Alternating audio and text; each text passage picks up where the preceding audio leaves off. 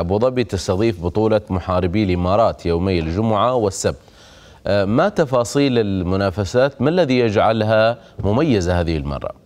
بالضبط يعني صحيح. الأنظار كلها تتجه عالم رياضة الفنون القتالية المختلطة نحو أبو ظبي لمتابعة أطول أو أطوار نسخة جديدة من بالنسختين جديدتين من بطولة محاربي الإمارات. البطولة تقام نهاية الأسبوع بإجراء بطولة محاربي الإمارات بنسختها العربية يوم الجمعة ومحاربي الإمارات بنسختها العشرين يعني يوم السبت. إقبال كبير من خيرة أبطال هذه الرياضة. في العالمين العربي والعالمي ومن المتوقع أن تشهد المنافسة قمة في الإثارة وتنافس كبير على الألقاب. بطبيعة الحال ماجد البطولة باتت تمثل لنجوم هذه الرياضة فرصة للتألق ووضع أسمائهم يعني على خارطة العالمية لهذه الرياضة.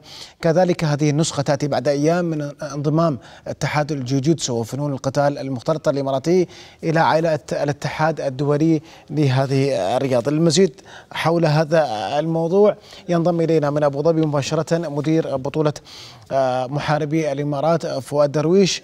فؤاد في البداية نرحب فيك على سكاي نيوز عربية سعيد بتواجدك معي دعنا نبدأ عالم يعني الفنون القتالية كما ذكرت المختلطة يترقب يومين من الإثارة في أبو ظبي نهاية هذا الأسبوع ضمن منافسات محاربي الإمارات. كيف هي الاستعدادات فؤاد وماذا نتوقع من النسختين؟ العربية ليومي الجمعة والعالمية ليوم السبت. أول شيء شكرا على الاستضافة وشكرا على دعمكم ل UAE Warriors للرياضه أجمع بدولة الامارات العربيه المتحده thank you for having us لا شك إنه النسخة 19 والنسخة 20 عزيزين علينا جدا وهدول راح يكونوا إحنا بنلاقيهم راح يلعب دور محوري بارتقاء سلسلة المحاربين الإمارات العربيه للعالم أكثر. إحنا اليوم لما نطلع الحمد لله رب العالمين في ظل في ظل جائحة كورونا قدرنا ننظم ثمان ثمان منافسات سابقة.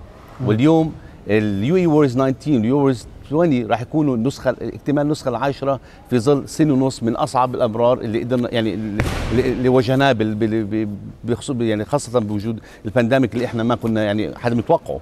فلما نطلع على الرياضة لا شك إنه الرياضة كان فيها فيها صعوبات أكثر بس اليوم UAE Warriors وجودنا بأبو ظبي بعاصمة دولة الامارات المتحدة تحدينا كل هال challenges وقدرنا الحمد لله رب العالمين جميل. نقدم جميل. هدول الأبطال فؤاد بحسب الارقام حدا متوقعها بحسب الأرقام والأسماء اللي تحدثت عنها أعتقد من المنصف القول فؤاد إن نسخة 19 ونسخة 20 هم الأقوى يعني في البطولة حتى الآن وهذا يعكس التطور اللي تحدثت عنه قبل قليل الكبير والمستمر لهذه البطولة التي تكبر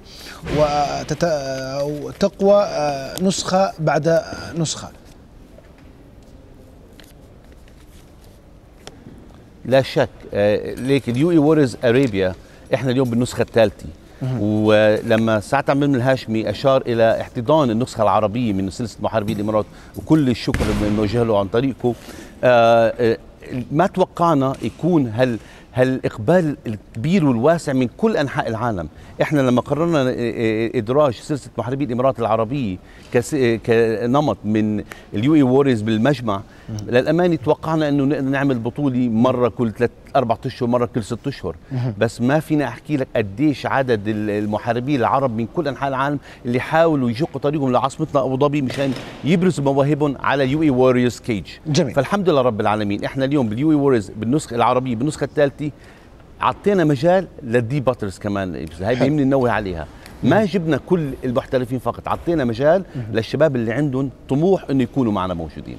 نعم بطبيعة الحال ربما تحدثت عن يعني رغبة العرب بالمشاركه في هذه النسخة. المرجع الأول عن الحديث عن الفنون القتالية المختلطة هو UFC من طبيعة الحال. رئيس هذه المنظمة العالمية دانا وايت أشاد في أكثر من مرة فؤاد بمنظمة أو بطولة محاربي الإمارات. ماذا تعني مثل هذه الإشادات العالمية لكم كمنظمين وساهرين على هذه البطولة. لا شك إحنا بنتشكر بنتشكر هذا التقدير بس هذا بزيد علينا من مسؤولية. بزيد من عاتقنا على إبراز ال- الأحسن والأحدث بهاي السلسلة اللي- لحد ما هي عمرها صغير. إحنا صرنا سنتين ونص بننظم سلسلة محاربي الإمارات.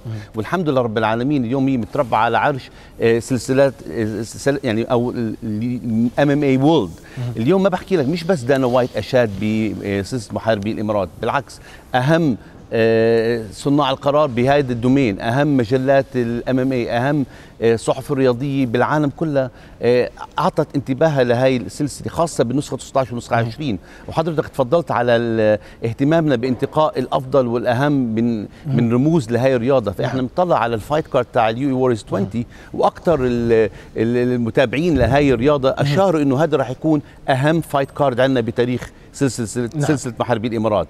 فإذا أنت بتطلع على الأسامي يعني طبعا الوقت ما ما بيسمح بس إحنا خلينا نركز على سريع ال event. جيسي ارنيت اللي مصنف number 1 MMA fighter بكندا. number 1 number 1 1 MMA بكندا. راح يلعب مع راي بورغ. كان هذا ب 2006 ب UFC 216 بلاس فيغاس عم عم بيلعب على ال belt. فأنت شوف اليوم سلسلة محاربي الامارات. تستضيف أهم الأسامي العالمية والحمد لله رب العالمين إحنا نكون على قدر كل التوفيق، ونجيب الأحسن لأبو ظبي. كل التوفيق لكم. ودائما تعودنا على نجاحات يعني محاربي الإمارات. آه، من أبو ظبي مدير بطولة محاربي الإمارات فؤاد درويش شكرا جزيلا لك.